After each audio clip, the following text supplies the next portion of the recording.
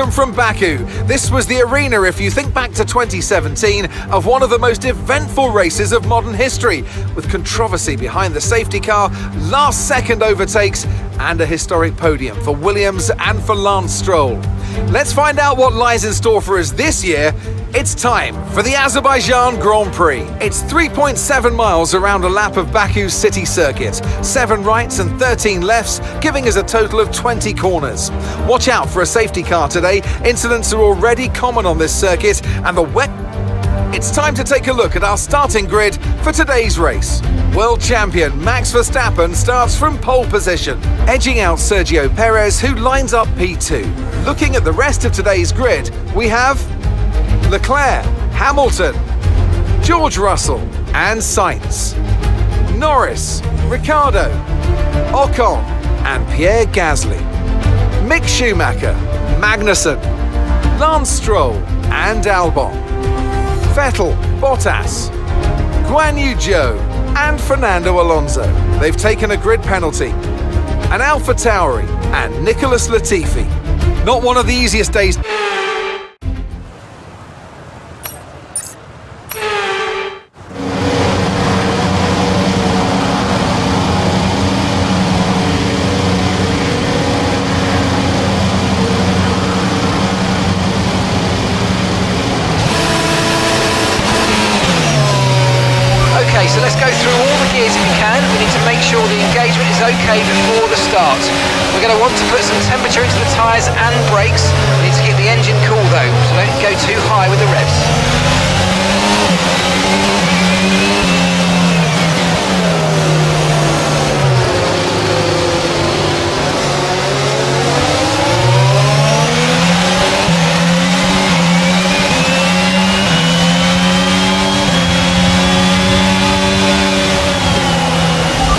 Showing a clear patch on its way. It's about 10 more minutes of this rain.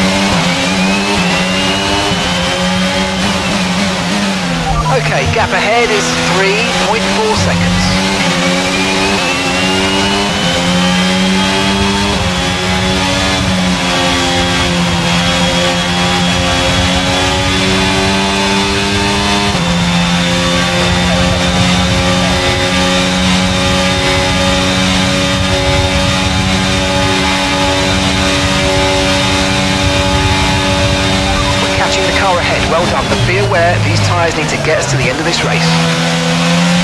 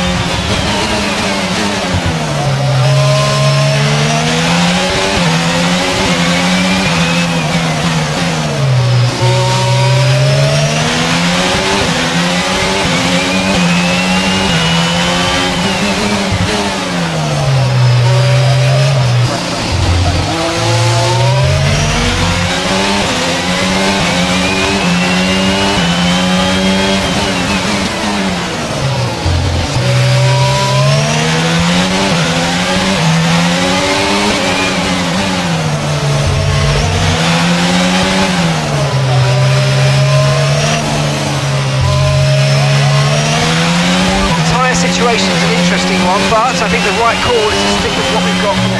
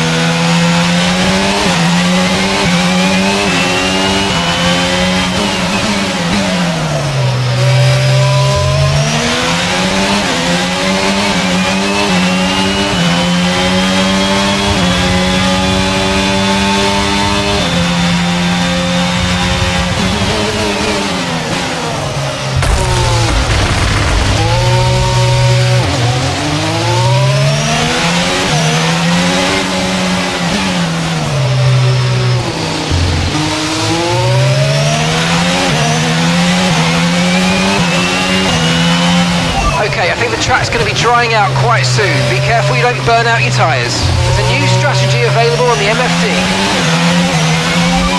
Got that confirmed.